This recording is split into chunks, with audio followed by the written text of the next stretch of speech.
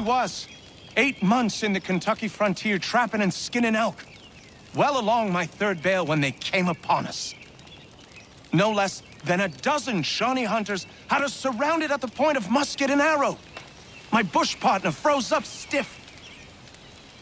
The fear chilled me the same, but I managed to muster what little Shawnee I was knowing. The leader spoke too quick, but I gathered we was poaching. Having crossed into their territory a month or so hence. Their musket barrels stared us down, the heads of their arrows smiling sharp at our backs. I bumbled a proposition and busted Shawnee.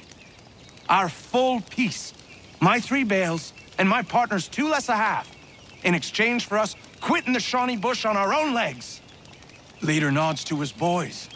They load up our take and start back into the trees. The honcho stays a spell longer, just staring. Staring right through us with his two black eyes. And then he was gone.